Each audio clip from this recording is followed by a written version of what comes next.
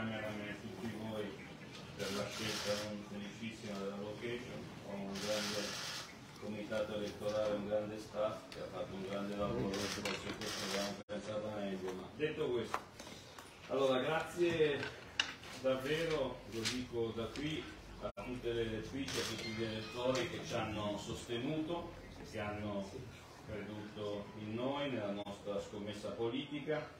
Evidentemente il risultato è netto, inequivocabile, siamo di fronte a una vittoria della destra in Lombardia, di un'altra vittoria della destra in Lombardia netta. Ho telefonato al Presidente Fontana complimentandomi con lui come è giusto e doveroso fare in una situazione di questo tipo, in un contesto di questo genere.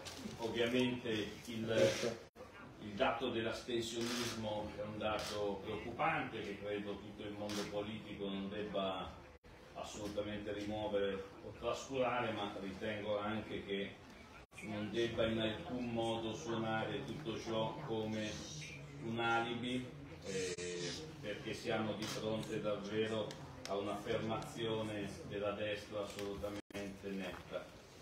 E ringrazio qui, voglio farlo, tutte le candidate e i candidati che hanno eh, fatto parte di questo laboratorio a cui abbiamo dato vita e le quattro liste con cui abbiamo creato, io credo, una scommessa difficile che eh, due mesi fa eh, appariva evidentemente come durissima, ma che abbiamo affrontato a testa alta, tra l'altro mi fa molto piacere aver visto, grazie al lavoro di un istituto che abbiamo preso il maggior consenso nell'ambito del voto giovanile.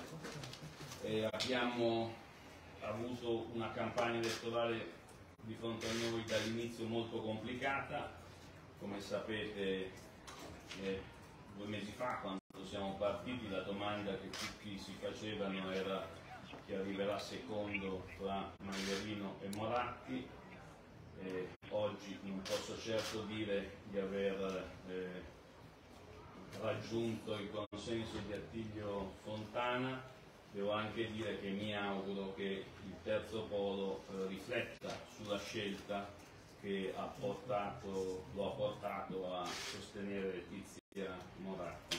Il consenso della destra ovviamente non ci autorizza a analisi semplici, banali e credo che andare avanti con molta nettezza in Regione Lombardia a creare un'opposizione che sia determinata anche per il motivo per cui ovviamente come ho detto dall'inizio eh, mi dimetterò da parlamentare europeo per rimanere in Consiglio regionale come giusto e doveroso che sia per portare dall'opposizione il mio contributo e per aiutare le forze della nostra coalizione a poterlo portare in modo puntuale.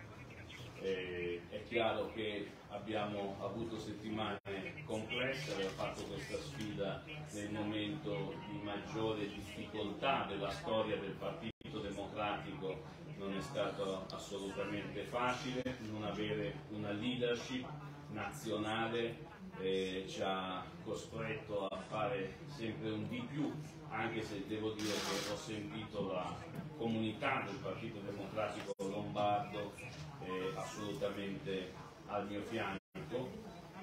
E certo rimane il rammarico di presentare un candidato due mesi prima del voto, cosa che non è eh, diciamo, consigliabile, io credo sempre, in una regione governata da un'altra parte per 28 anni con livelli di consenso alle elezioni politiche solo a settembre altissime veramente rende tutto evidentemente molto più duro e difficile, dopodiché non cerco alibi, nel senso che sapevo che le condizioni erano queste, ringrazio davvero tantissimo tutte coloro e tutti quelli che si sono spesi in queste settimane attraverso una campagna elettorale appassionata, complessa, eh, che ci ha eh, visto mh, andare ovunque come era giusto e doveroso eh, fare.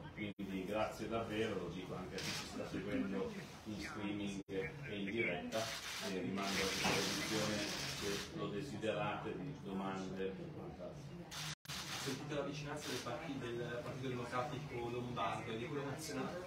Tra i quattro candidati sono, ci sono stati, ci sono stati insieme a un'iniziativa finale, vi ringrazio ancora, ci sono state diverse iniziative, è chiaro che aver, non aver avuto un leader eh, a livello nazionale eh, non ci ha aiutato, questo è ovvio, penso che siamo un caso eh, studio a livello internazionale per aver fatto le, la consultazione sulla leadership interna durante delle elezioni regionali rilevanti come quelle della Lombardia e rilevanti come quelle del Lazio. Però detto questo eh, il PD a livello lombardo ha combattuto unito e tra l'altro mi sento di dire che adesso vedremo quali saranno i risultati definitivi, ma anche il voto di lista è un voto che lo vede in crescita al momento rispetto alle elezioni politiche. La scelta di rimanere in Lombardia comporta anche un progetto, un'idea di un impegno eh, ulteriore come punto di riferimento per il PD e per il centro-sinistra sul territorio? Ma questo adesso vedremo come, ma io farò innanzitutto il consigliere regionale con grande determinazione, convinto che non si debba ogni volta azzerare diciamo, il lavoro che si è fatto e che questa sfida durissima, che è la sfida eh, per il governo della Lombardia, qualcuno un giorno la dovrà vincere. Quindi mi auguro di poter portare a qualcuno in dote un lavoro fatto per rafforzare l'opposizione. Ripeto, un'opposizione che deve essere, io credo, combattiva ma anche molto propositiva. Senta, è stato un errore non aver accettato il ticket con Letizia Moratti? il ticket con Letizia Moratti non era possibile, poi mi pare che gli elettori hanno dato un giudizio spietato della proposta di Letizia Moratti che mi risulta in questo momento non riuscire nemmeno a entrare in consiglio regionale. Quindi credo che gli elettori hanno spiegato come quella dell'accordo con Letizia Moratti fosse davvero l'ultima ipotesi possibile e plausibile non essere passati dalle primarie invece in quella fase eh, precedente alla sua candidatura? Ma eh, guarda, io credo che le, prima, guardi, credo che le primarie possono essere utili e anzi sono certamente sempre la strada migliore se le avessimo fatte il 19 di dicembre come era in quel momento l'unica possibilità, visto quando sono stato scelto tra virgolette e con un'alleanza tutta da costruire non sarebbero state semplicemente praticabili. Si doveva, io credo, il centro-sinistra deve imporsi di scegliere mesi e mesi prima il candidato. Questa è la, la verità. Lombardia è una terra enorme con 10 milioni di abitanti, puoi fare anche 800 iniziative come ho fatto io in tanti eh, luoghi eh, per la prima volta quindi direi questo. Senta, al netto dell'analisi che ha fatto, quale crede sia stato diciamo, il suo errore o comunque lo sbaglio più grande in questa campagna elettorale? Il mio? Ma ha fatto una, una, frase infelice per cui ho abbondantemente chiesto scusa in questi due mesi sinceramente ho poco da rimproverarmi. Eh, siamo partiti da una condizione durissima, eh, da un dato, da un verdetto elettorale del 25 settembre delle elezioni politiche chiarissimo e nettissimo, sinceramente in questi due mesi non credo di aver fatto grandi errori. Lei ha detto, ha detto che il terzo polo dovrebbe riflettere dopo questo dato. Calenda poco fa, rispondendo a Giorgio Gori, in tweet ha detto il centro e la sinistra non sono mai stati in partita neanche uniti neanche nell'ipotetico formato del camporanno. Ah, non lo so, adesso io lascio al terzo polo la discussione su di sé. Mi pare evidente che eh, se era stato in Lombardia e anche a Milano la novità delle elezioni politiche, il terzo polo, queste elezioni fanno prendere un colpo pazzesco al terzo polo in Lombardia e a Milano. Poi è anche vero che magari non avremmo vinto comunque, questo, questo è possibile, quindi non, non sto dicendo, non, ripeto, non cerco facili alibi o vie di fuga, dico però che la scelta Letizia Moratti è stata ricettata in maniera enormemente significativa dagli elettori. Cosa dice questo voto invece sull'alleanza con il Movimento 5 Stelle che c'è stata in Lombardia? Ma io credo che ci abbiamo provato e mi auguro che si prosegua in un buon dialogo. Eh, c'è stato molto rispetto da parte dei 5 Stelle e sono convinto del fatto che abbiamo aperto una fase di dialogo che mi auguro vada avanti, ma soprattutto mi auguro che le tre forze d'opposizione a livello nazionale si impongano una cosa, che quando c'è il turno unico, se non, non finisci in questa fase storica vince la destra. Questo è vero in Regione Lombardia, una regione dove diciamo, la destra arrivava con, con, un consenso fortissimo, purtroppo è vero anche nel Lazio dove non riusciamo a vincere nemmeno nel Lazio dopo aver tanto ben governato. Ma si aspettava qualcosa di più dall'alleanza? livello numerico?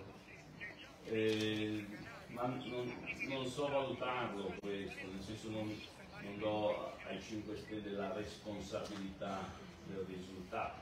Certo mi auguravo, sapevo che era durissima, mi, mi auguravo di arrivare più vicino a Fontana, su questo non c'è più. Ci siamo, ci siamo scambiati un, un paio di messaggi.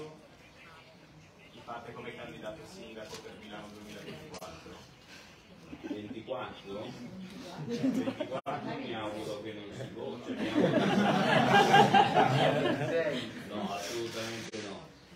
mio dovere è fare l'opposizione, la farò in maniera cocciuta, e combattiva e propositiva. I giovani però l'hanno votata. Sì, questa è una cosa molto bella, il fatto che la maggior parte dei giovani che ha partecipato a ha scelto per me una cosa che mi ha riempito d'orgoglio anche un po' emozione. Perché non è riuscito a raggiungere la fascia dei 55? Eh, adesso vedremo il, le analisi, aspettate un secondo, siamo ancora qui ad aspettare i numeri, sapevo che eravate in condizioni di palese disagio, quindi sono voluto venire apposta a parlarvi, però... Eh, il PD eh, era sotto attacco no? in queste elezioni ed è, è affrontato il momento più difficile della propria storia paradossalmente tenendo, nel senso che siamo in una situazione in cui il PD può dire eh, che in entrambe le regioni alla fine, sono convinto potrà dire, il voto di lista ha tenuto, ovviamente quando è in gioco non la lista e basta, ma eh, la scommessa per il governo non basta una buona affermazione. Eh, sono convinto che da queste primarie possa arrivare una buona, diciamo, una buona emozione ulteriore. Credo che il PD debba serenamente sapere che ha bisogno di ricostruirsi. Quello che abbiamo fatto qui è un contributo che va in questa direzione, lo dico ovviamente avendo ben chiari i dati. Ma io si sapeva che la partita era quello che e sperava di arrivare un po' più vicino a Fontana. Quindi questo risultato come lo possiamo leggere? Comunque un risultato un aggettivo. Ma eh, io credo che sia un'affermazione vera della destra e su questo non c'è dubbio. E, ehm, credo che gli elettori meritassero una coalizione unita sempre questo, penso, in questo, ripeto, penso che la scelta del terzo podio di aver rotto l'accordo con noi sia stata una scelta davvero sbagliata e per quello che ci riguarda credo che è una, diciamo, rispetto alle politiche una, è un primo passo per una ricostruzione. Ecco, mettiamola così, però dico tutto questo con grande semplicità e, e appunto senza una boria che apparirebbe totalmente ingiustificata. Ok? Grazie, grazie a voi.